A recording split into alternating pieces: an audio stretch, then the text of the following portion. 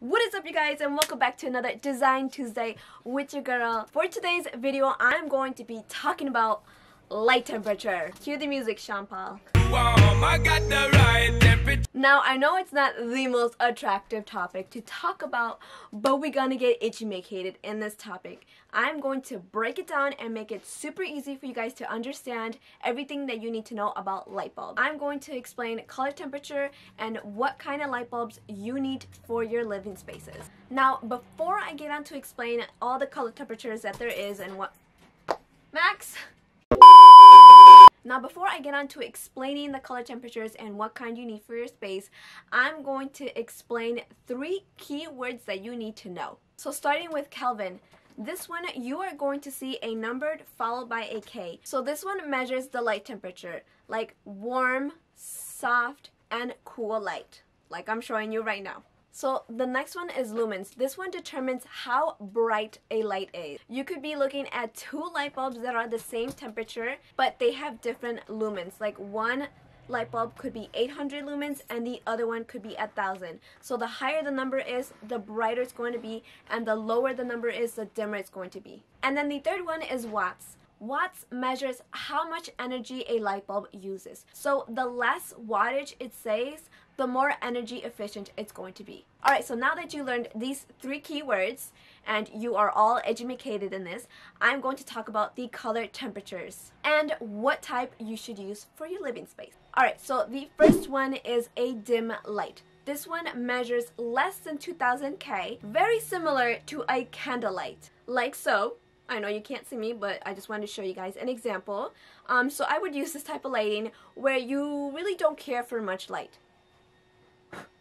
The second one is a warm light. This one measures 2000 to 3000 K and like you're seeing right now, it often gives off a very orange or yellow tint.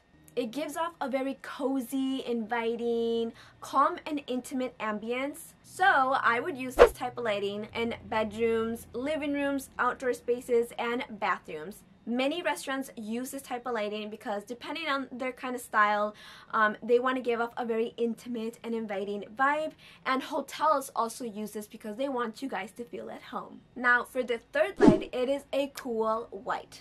This one measures 3100 to 4500 K. So unlike the warm light, this one will give off a more neutral white light and sometimes will have a slight blue tint. It is a bright and vibrant light, so many people use this type of lighting where they need to stay focused and alert.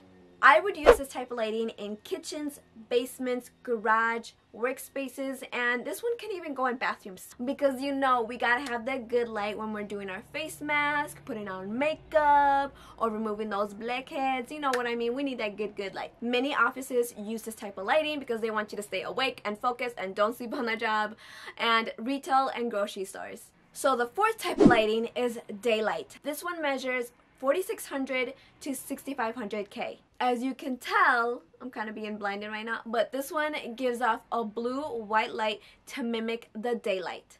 It is a very crisp light and used in professional spaces where bright illumination is needed and where you need to be extra, extra, extra focused. Like healthcare, warehouses, and sports stadiums use this type of lighting because they want you to be alert and watch what you are doing.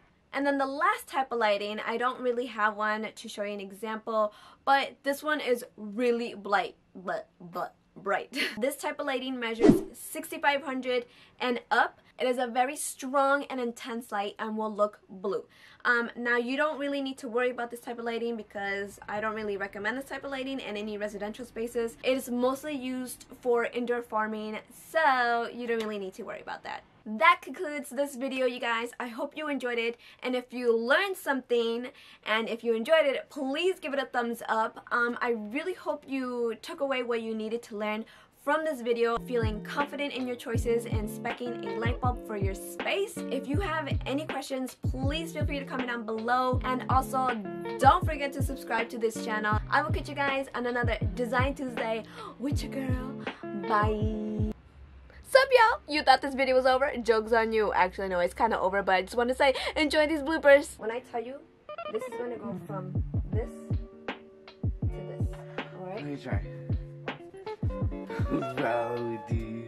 So this one measures the light temperature, like warm, soft.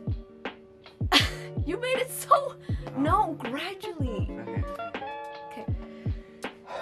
Um, I know Sean Paul meant a different kind of temperature, but I just felt like it related to this video really well.